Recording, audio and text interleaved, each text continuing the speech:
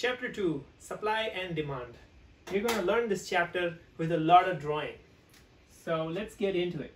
To understand supply and demand, we have to use this graph with x-axis representing the number of units produced and y-axis represents the dollar amount.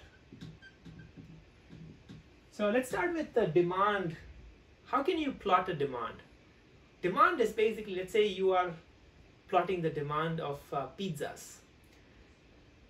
You will have more demand of pizzas when the cost is lower, right? So as the cost is lower, the cost is going lower here, the demand increases. So as, as you have cheaper and cheaper pizzas, more and more people will, will buy it. So that is a typical demand curve. People will buy more number of units. Let's say this is uh, 30 units. Let's say this is 20 units, 10 units. So more units, more people will be able to buy when your price goes down from let's say $30, $20 to $10, right? So for $10, you might have 30 people buying. For $20, you might have like, let's say somewhere around 15 people buying. And for $30, you may have maybe only 10 people buying, right? So the demand curve looks like this. It increases with lower prices. So this is an important curve, the demand curve, right? The supply curve is the curve of the producers. Remember we looked at in the last video, there's the consumers wanting to consume more and producers who want to you know, build more things, uh, produce more things. But it takes more money to produce more things. So typically the supply curve looks like this, right? If you want to produce 30 items, it takes more, more money versus if you want to produce 10 items.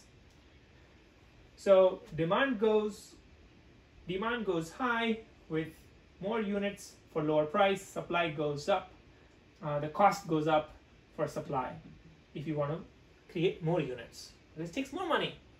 So the supply curve goes like this, the demand curve goes like this. So this is the basics of supply curve and demand curve.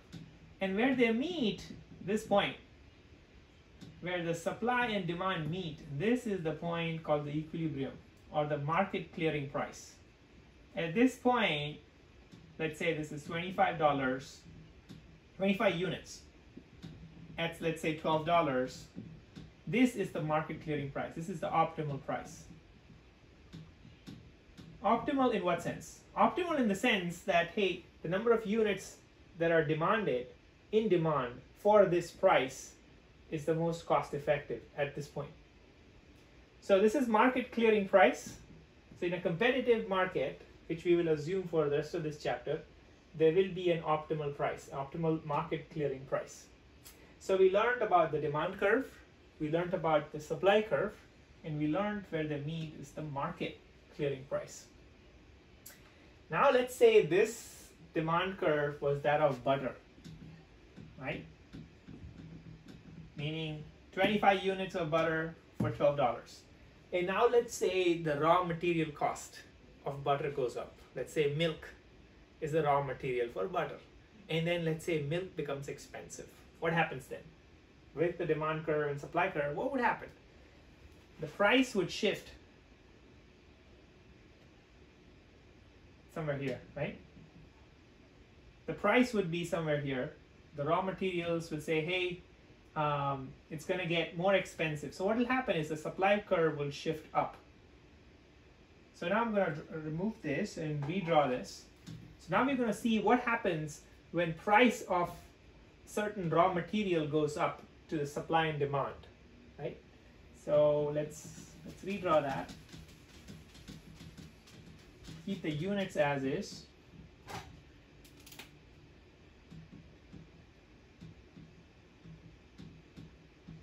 So now let's say this was originally, this is what it was, right?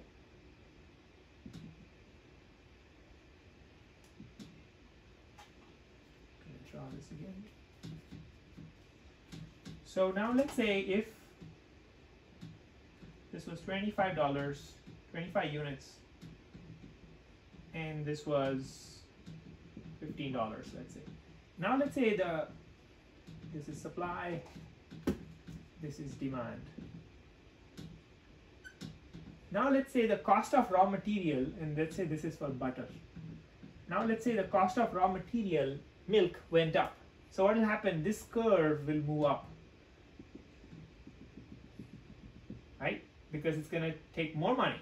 And so what will happen is it will intersect here now. Meaning the demand was for 25 units. Now the demand is much lower. Let's say 15 units. So for a higher price, let's say this is uh, $19. So as we saw, when, when it moved up from $15 to $19, the units went down from 25 units to 15 units because the supply curve shifted up, price went up. What do you think will happen to the demand?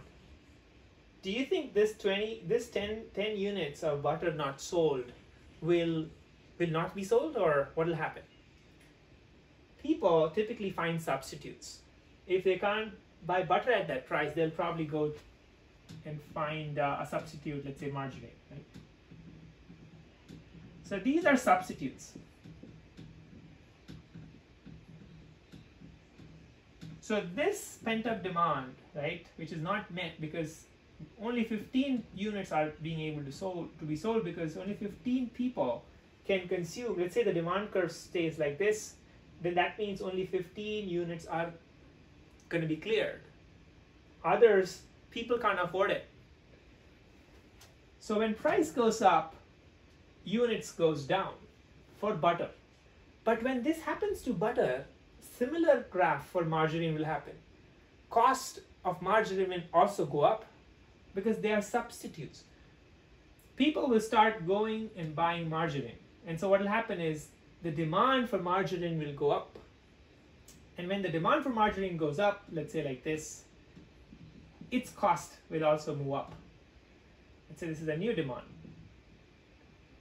So for substitutes like butter and margarine, they move hand in hand because pent-up demand not met here, for some arbitrage, if it's cheaper, it'll go to the substitute products. But there are these things called complements, like automobile and gasoline. If you were to replace this with automobile and gasoline, they are not substitute, they are complements.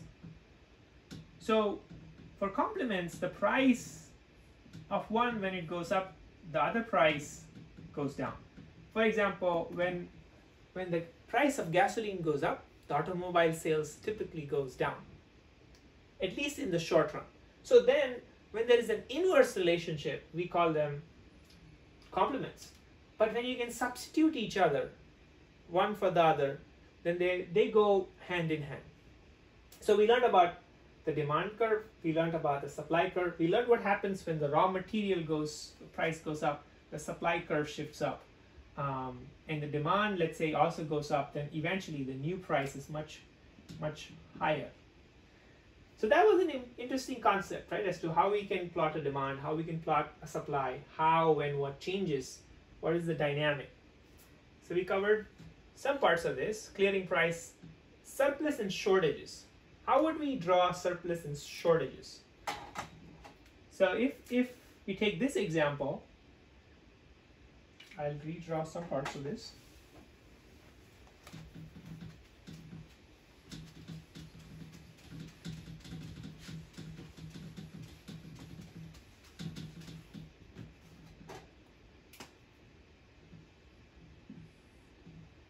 So let's say this is our demand curve and this is our supply curve.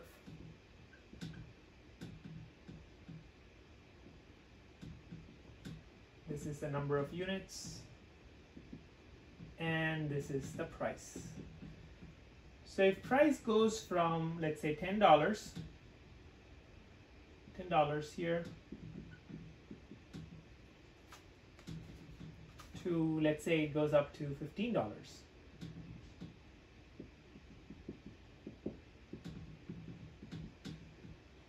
If the price goes up here, then we see that and let's say here it was able to sell 20 units now it will only be able to sell 10 units. So if the demand is lower than the supply then we have a surplus. Right? This is a surplus because they're trying to sell at a higher price. This is $10 this is $15 Similarly, if price goes down to let's say $5, but the demand is for let's say now 30 units, but it can only sell 5 units, let's say, it can only create 5. So then this one is the shortage, right? This 25 units is the shortage. And here we see this is the surplus, right? So which is 10 minus whatever this curve is. Let's say this was 10 and 30, and this is 20 units of surplus. So basically surpluses and shortages are built up. Let's say the government says, hey, you cannot sell this gasoline or whatever this product for $15, but you got to sell it at $5. Then what happens is shortages get built up because the demand is exceeding the supply. So it's very important to know the dynamic this could be used also for, let's say there is a war in the Middle East, which you know controls a lot part, a lot of oil, and so let's say they control 20% of the oil. And so if you were to predict what will happen to, let's say, oil consumption in the US or the oil prices in the US when there is, let's say, instability or war, when that happens, you can easily, with back of the envelope calculation, figure out if you, if you know the supply curve and the demand curve, what will be the impact? How much shortage would it be, or how much price, how how how high the price would go for those uh, commodities? So with basic understanding of demand curve, supply curve, shortages and surpluses, understanding whether something is a substitute, which goes hand in hand with price action, or if it's a complement, which is complementary, it's very important to, to be able to graph all of this. So we covered surplus and shortages. Similarly, now let's take a real life example of cost of education in the United States. We will draw the same supply and demand. So now let's take this example of supply and demand for graphing out cost of education in the United States. So if I were to say this is the money spent on education and this is the number of students enrolled right? And so now let's say we're going to compare 2000. So let's say this was the demand in 2000. And let's say this was the supply in 2000. So what has happened is uh, the cost has gone up for education, right? We have seen that it takes more money to to have uh, to pay for higher salaries for professors to uh, build new campuses that are much more has much more facilities and to give all of those uh, things that the students want. The cost has gone up. So what has happened is that the supply curve has shifted up right? What used to maybe cost you know cost let's say twenty thousand dollars and it used to let's say support uh, 10 million people, what has happened is the, the curve has gone up because the price has gone up. So the new supply curve looks like this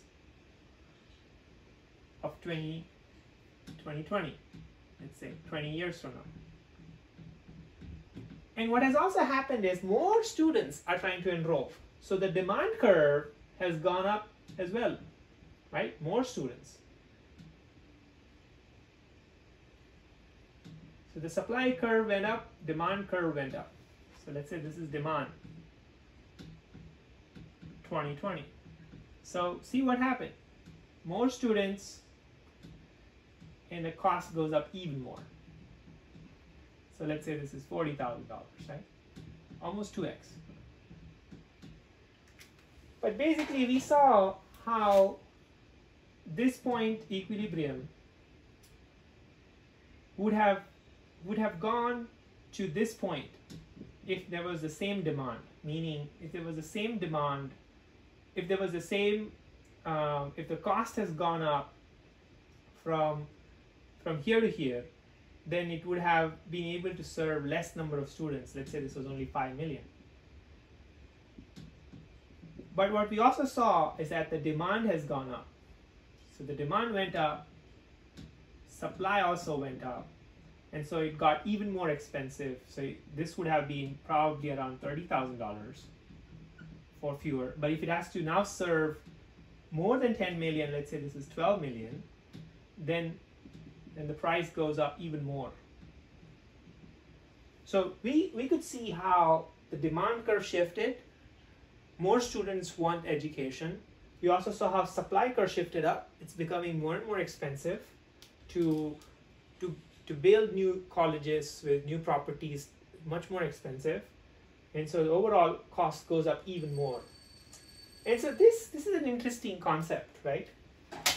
To understand how these two variables move, the supply and demand, and there is this thing called elasticity. And to understand elasticity of supply and demand, we will again redraw this.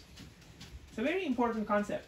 And in this what happened is we saw for, for college education, example above, right? The price went up and the quantity demanded also went up, right? This one is a perfectly elastic, right? Both goes up. So now let's let's let's try to draw elasticity. So if I were to draw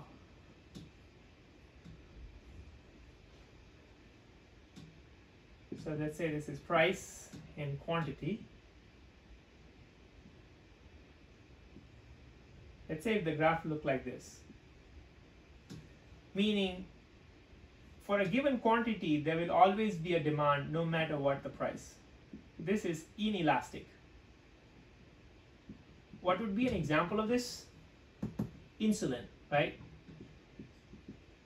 Hypothetically, people will pay any price because if they, if they want to live, then, then they would pay, there will be a fixed quantity and then there will be ask for it no matter the price, $10, $20 is a rough example.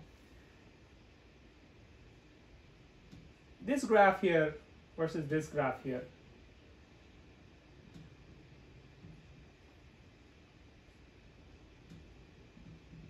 You see the area here is so much bigger versus the area here is so much smaller. So this is this is perfectly inelastic. This is inelastic. This is elastic, meaning let's say if the price if the price goes up, um, people will move from one product to another product. So that is elastic. And similarly, the opposite of this one is perfectly elastic.